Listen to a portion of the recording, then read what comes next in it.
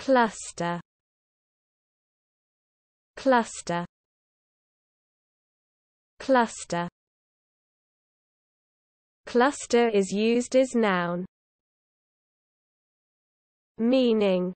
A group of things of the same kind that are very close together.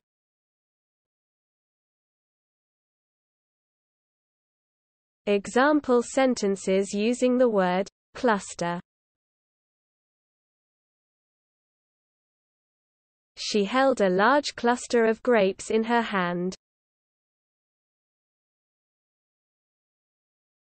The grapefruit was named for the way it grows in clusters, much like grapes, on the tree.